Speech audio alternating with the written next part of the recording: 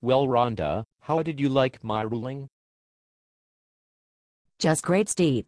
You set yourself up for an appeal, but don't worry, I used to be Nevada Supreme Court Judge Rose's law clerk. I will call him and ask him to put it on a shelf to collect dust for a few years. That's a good idea. I think this father knows I don't like him or care about his kids. Maybe he will go away. I'm hungry. I need to lose weight. I'm going to Hooters for lunch. He is going nowhere. He started a coalition for family court reform because of you. I want my money. I donated money to you, and you owe me Steve. Don't worry, those real estate deals will do well, and you will get money. You bet I will, even if I have to take it out of your wallet or garnish your wages.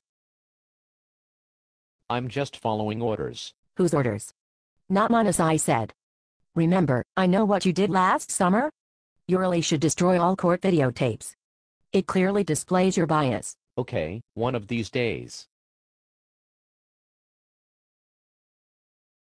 Now my client is having more problems with the stepfather, Rory. He hit the youngest child's foot with a back scratcher so hard it broke. He also washed the middle boy's mouth out with soap. I don't think the biological father will like that, Rhonda. Maybe it will bait him into a fight with Rory, and we can put him in jail. Great idea, Steve. How the will he pay extortion, I mean child support, if he is in jail? Up, I think they get paid 0.25 cents an hour in jail for working. Okay, so I will get paid in 2010.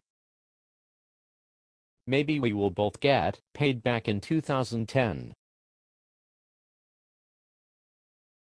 Payback is a bitch. Oh, that's me, a bitch.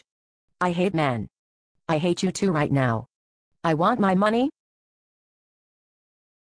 But you lick, I mean like women, right, Rhonda? Goodbye, Steve.